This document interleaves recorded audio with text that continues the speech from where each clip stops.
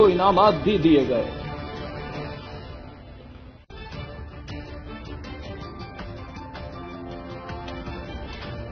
اٹک کی تحصیل حضرو کے نواحی گاؤں نرتوپا کی معروف دینی درس کا جامعہ قاسمیہ انوار القرآن کی اکتالیسویں دستار فضیلت و ختم بخاری شریف کا انعقاد کیا گیا۔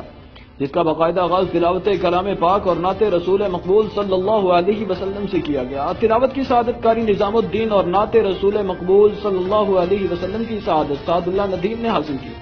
تقریب کی زیر سرپرستی شیخ الحدیث مولانا امتیاز خان نے کی، جس میں پچپن طلباء کرام کی دستار بندی بھی کی گئی۔ تقریب سے جانشین شیخ القرآن مولانا اشرف علی نے خطاب کرتے ہوئے کہا کہ جس طرح ملالہ یوسف زی قوم کی بیٹی ہے، اسی طرح عافیہ صدیقی بھی قوم کی بیٹی ہے۔